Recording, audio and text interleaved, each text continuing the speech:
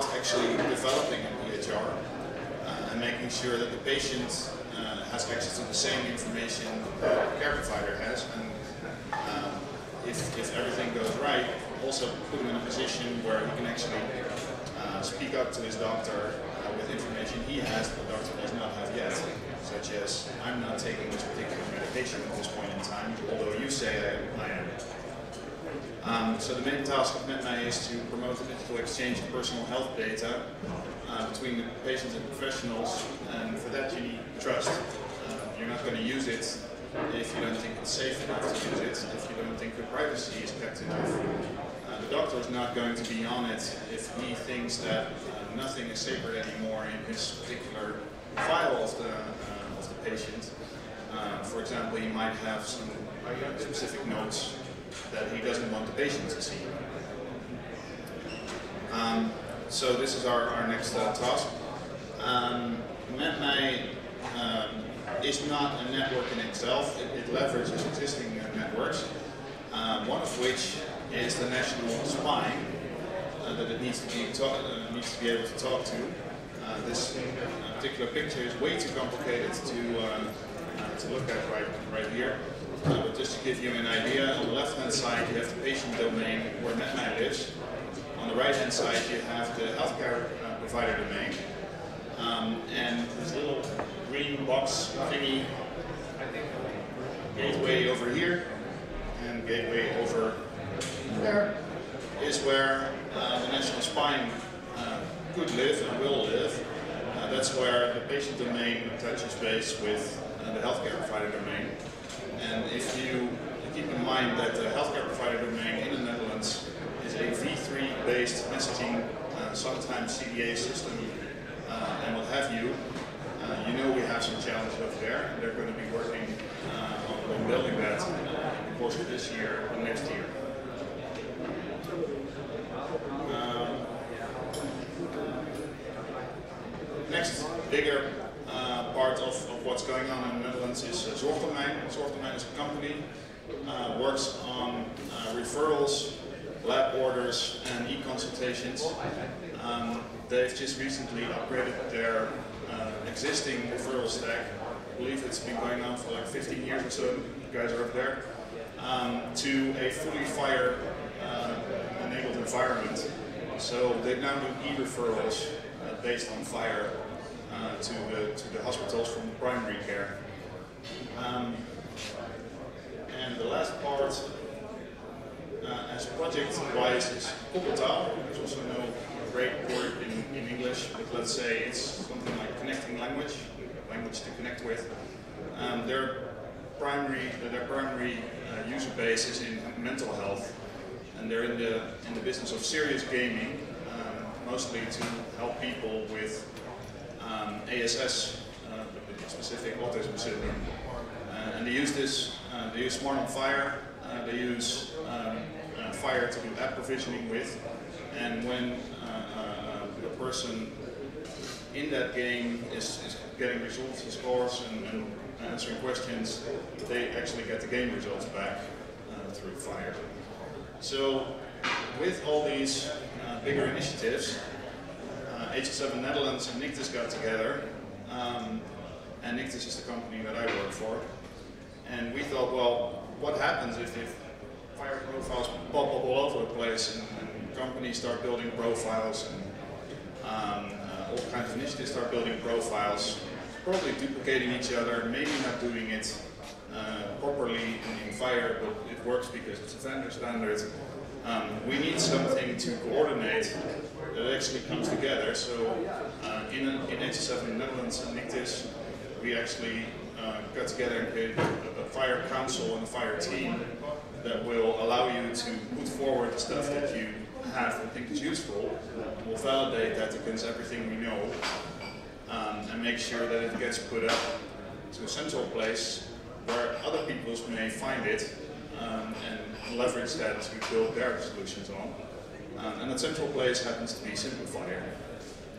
So I believe I'm at the end of my time. So I'll leave you with this particular summary. In the Netherlands, we are large scale investing on FHIR STU3.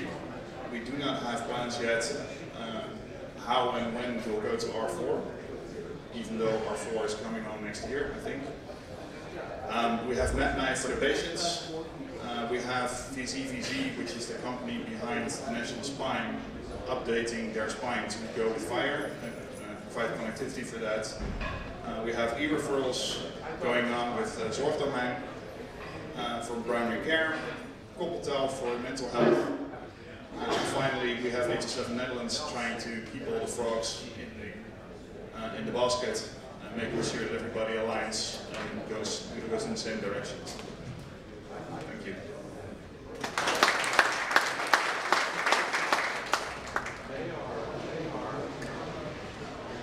Hello, hello everybody. Um, thanks for letting me talk shortly here about FHIR activities in Switzerland. Um, we are not that much projects in Switzerland, honestly, because we are building up our electronic health record system based on IHE XDS and uh, CDA documents, so that will keep us occupied on the national level the next three years until everything is connected, and maybe then we get back on FHIR. But um, nevertheless, uh, we have some activities on a national level. We are looking into how we can connect mHealth apps and application into our future electronic health records. We are currently evaluating the Continua guidelines with a focus on FHIR, how, like you do it in the Nordic countries, if we can take that over. On a lower level, in HL7 Switzerland, we made a FHIR working group which meets informally, makes exchanges about the different projects which are running on, and one of the, the radiology group already started profiling. I will show you shortly that uh, profile where we use uh, questionnaire FHIR resources. So uh, even though we are a small country, we have 10 participants here from Switzerland, so I think slowly, slowly the fire gets up in Switzerland. Um, the projects we have within are uh, coming from companies, bottom up, or projects which are running. These are on one side a lot of primary systems which connect to each other. So we have one which connected the cloud to a local system where they can enter the information from the cloud inside the system. We have primary systems which have different versions in the market which are looking for a format how to integrate or exchange information between these different versions where they use FHIR as an internal standard. And then we have also um, um, projects for immunizations in Switzerland where all your immunizations are stored and you have clinical decision support. So the official exchange it is a CDA document, but they also make profiles on FHIR, so they have an interface where you can use FHIRs. So there are a lot of projects going around, also in terms of uh, research. So we have a, a system where there is a secondary use possibility for research, and they are also building this up with the FHIR interface. The people are also here, I don't know if they're in the room here, but so, uh, yes, Francois is there if you want to talk to him from iData. So they can, you can build apps with their system and they can they use them further. Just two examples. Um, we have a um, need for exchanging referrals and based on forms and didn't find a solution within IHE and HL7. So there was a proposal we were working on, how you can exchange forms um, from one provider to another, the filled out form, and we make profiles. Profile this on a questionnaire resource packaged together with a bundle. So we have different actors, questionnaire manager, a receiver, and a filler, and a repository where this form lives. Um, so this project was to specify it in this radiology work group, and we tried to bring it to the IHE international level. We didn't succeed in the first round now, because you have to go through uh, the planning committee and the technical committee, but um, we are going further with it. We have the first prototypes implementing it, and we hope uh, that we can go further with this profile.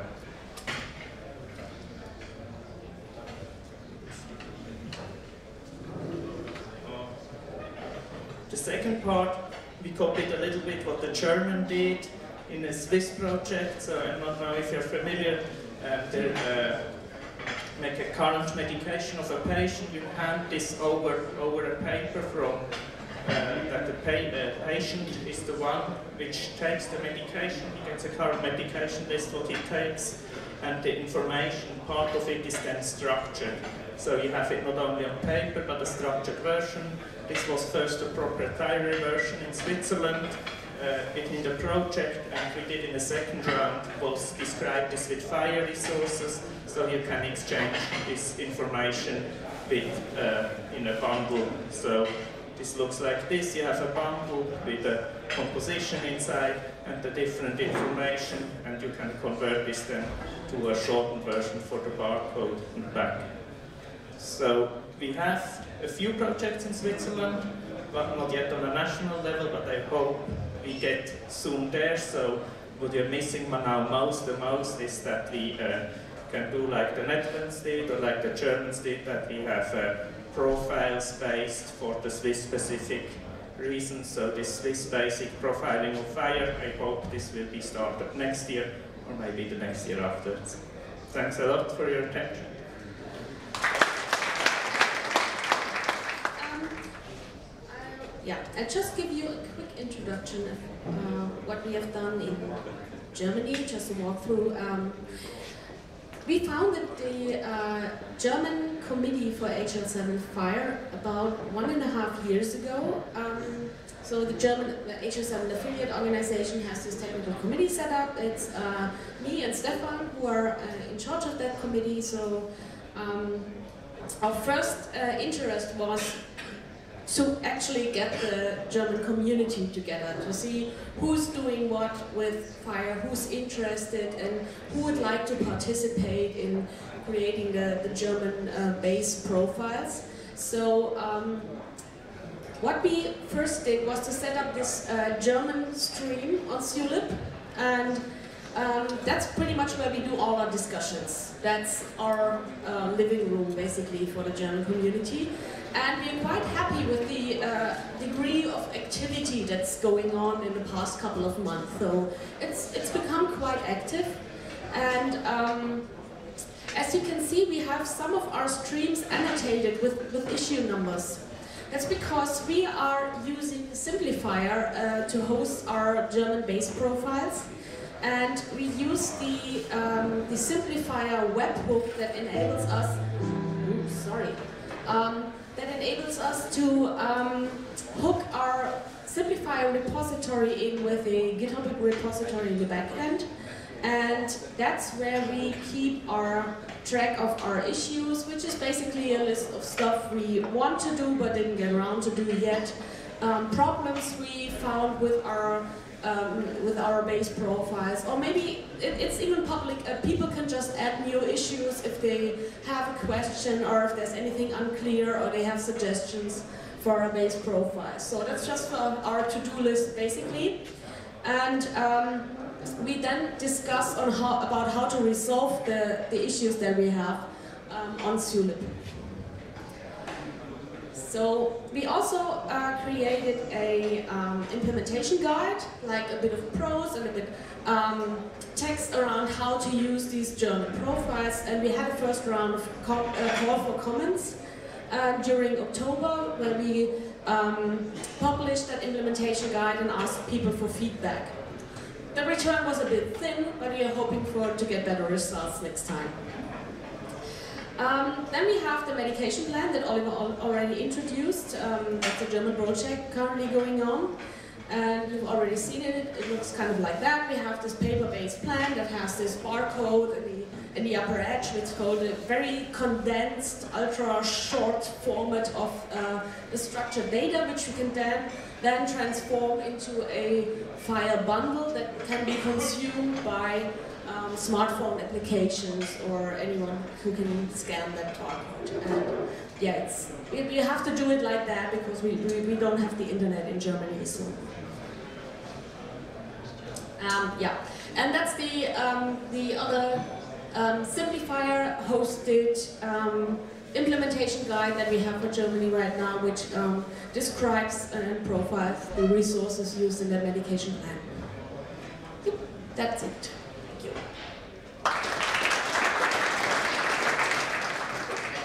So I'm going to talk about some work that's happening with FHIR in the US realm. And I think today I will be playing the role not just of myself, but also of, of Wayne. Oh, oh, we have Wayne as well. So Wayne, if, if you want to come up and talk a bit about uh, a couple of these efforts, that'd be great. So one large project that started a few years ago was the Argonaut project. At, this conference last year, we had Micky Tripathi talking about uh, the scope of work that's happening in Argonaut. Um, but just as a quick recap, is a project, not a whole new organization, but it's a confluence of electronic health record vendors and some of the large academic medical centers in the US that came together with HL7 uh, and brought on subject matter experts as needed to tackle some specific problems. And starting a couple of years ago in 2015, one of the areas that we focused on in Argonaut was this way of launching apps in Smart. So Argonaut sponsored a security review and brought together a bunch of EHR vendors to do a, a review of their own implementation and brought back a lot of advice and feedback that helped us make the specification better. Uh, and over time, that specification is now feeding into a standardization process. That's happening at the HL7 uh, international level through FHIR. Uh, the next year, Argonaut took on a way of working with what's called the Common Clinical Data Set. This is a limited set of data that is defined as part of the US regulations in meaningful use. It's a summary data set for medications and problems and lab tests and vital signs and allergies and so on. It's a list of about 20 different data types that are defined. And the Argonaut group came together and said, great, how can we represent those 20 different data types in FHIR?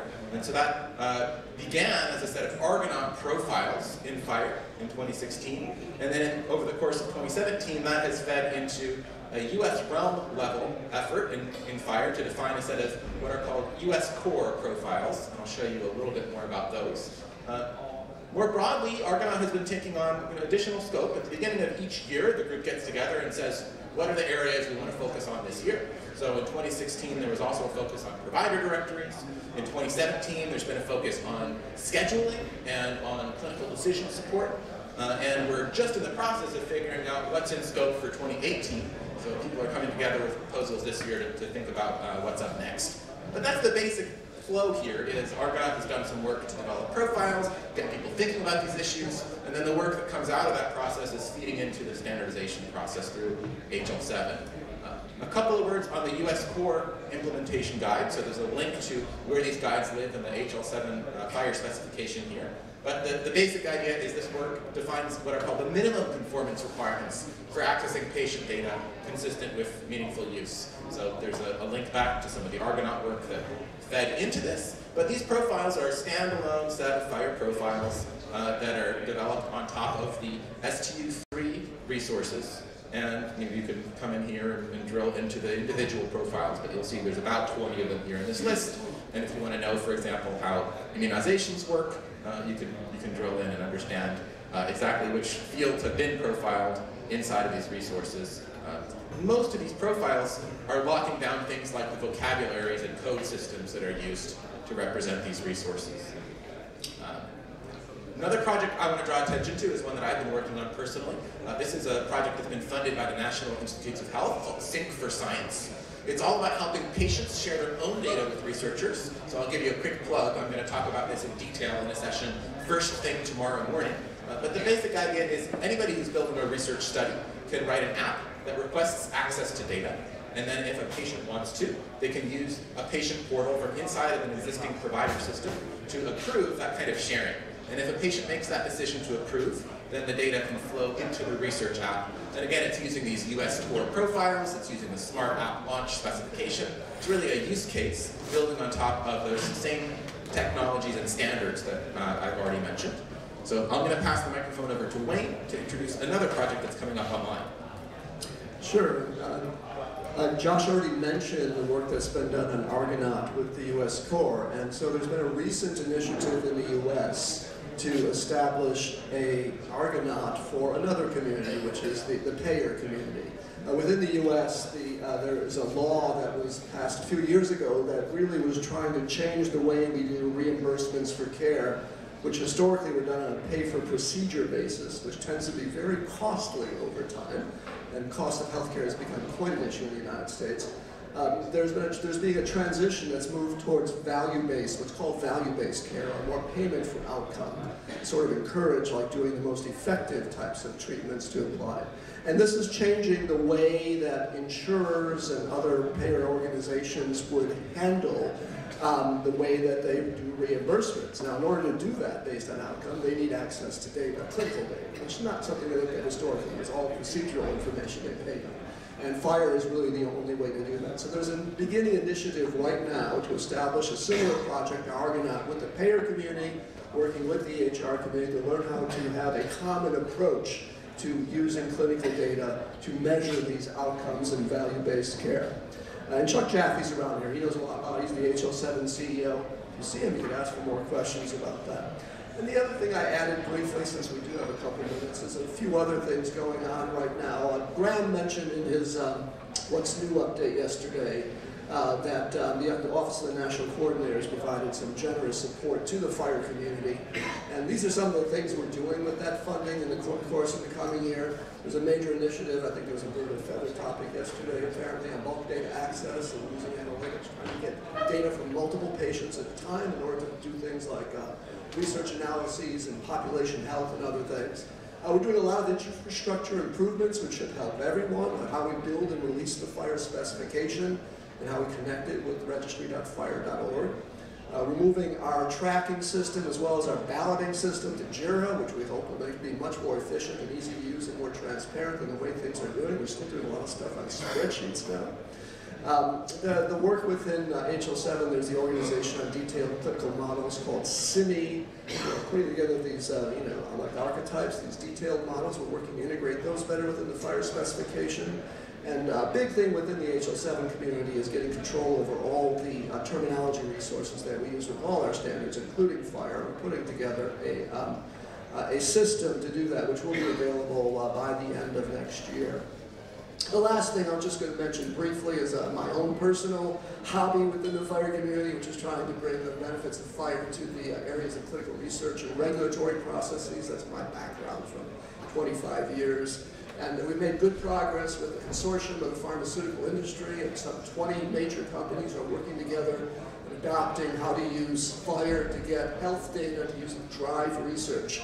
Um, within, the, within Europe, the European Medicines Agency uh, has gotten, is uh, actually working on now on a representation of FHIR for what's called the Identification of Medicinal Products Standard, an ISO standard for how they register a contact that, not just the names, but basically all the information about a drug product, including the substances that are in place with significant uh, potential safety implications. And so I'm very encouraged about their jumping into it.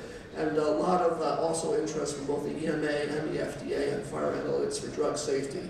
We'll be talking about those things in more detail at the FHIR Dev Days coming up in Boston in June.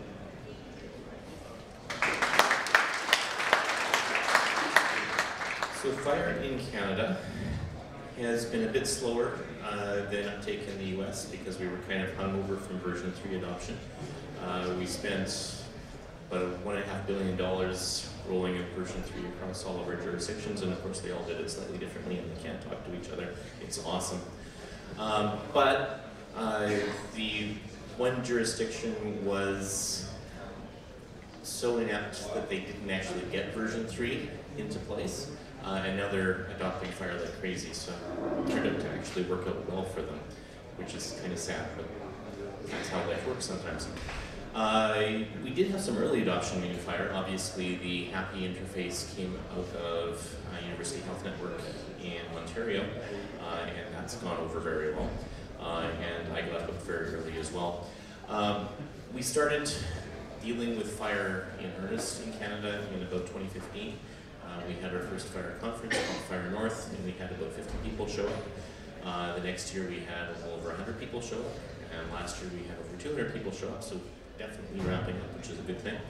Um, and we now have an official FHIR working group um, within uh, the Standards Collaborative, which encompasses HL7 and IHE and a number of other organizations in Canada that all work within uh, Canada Health Infoways umbrella. Uh, and after forming, we've become pretty much the most active standards group doing development work in Canada, which is fun. Uh, a number of different projects. One is focused on use cases. What is the business case for doing FHIR? Uh, and they pretty much completed their work. They put together a white paper, and if you're interested in that, I can get you access to that. Uh, we have an architecture group that's done things like what is the URI strategy? Uh, how do we manage URIs versus OIDs, and how do we map, and how do we decide what URIs to use when and where? Have a tooling group uh, that's been looking at what sort of tools uh, do we need to have uh, in Canada, and how can we support and integrate uh, work that's happening elsewhere. Uh, we have a number of jurisdictions that either have or are working towards FHIR-based client and provider registries. Uh, so we have a group focused on that. We have another group focused on e-referrals.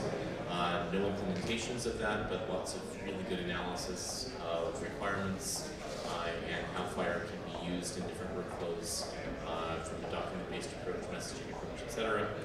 Uh, and we just started a new one on smart and CDS hooks, recognizing that those to be fairly important technologies in Canada and we want to figure out how we're going to leverage those.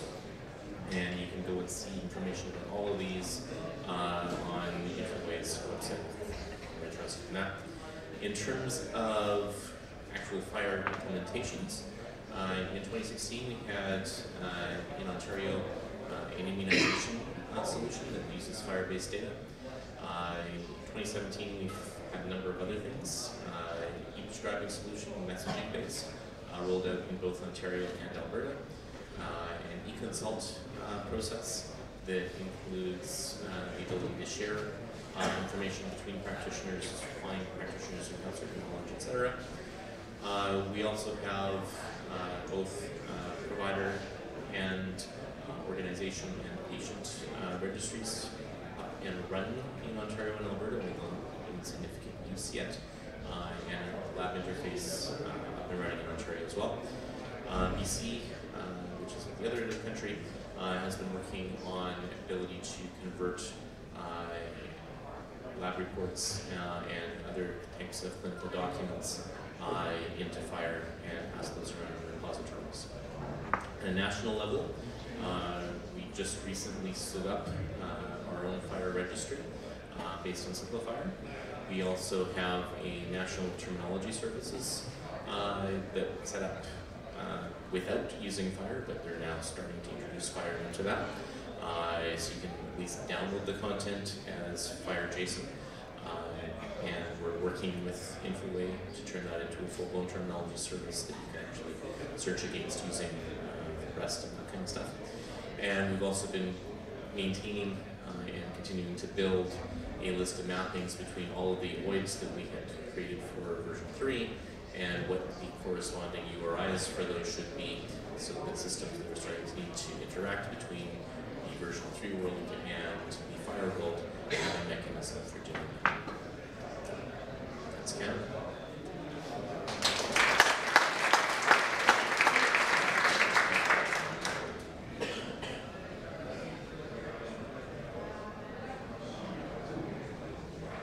question is whether we have URIs for all of our OIDs or just some.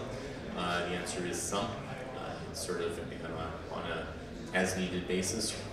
We uh, create them.